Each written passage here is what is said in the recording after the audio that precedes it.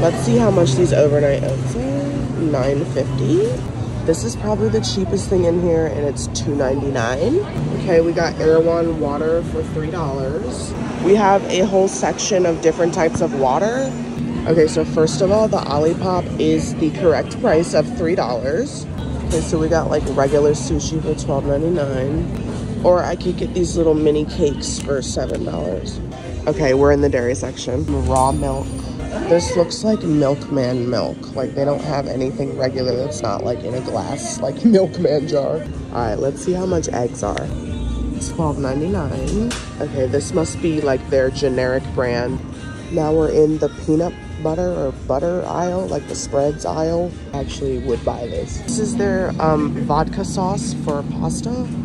Uh, okay, so they have a lot of wine. This is just the reds.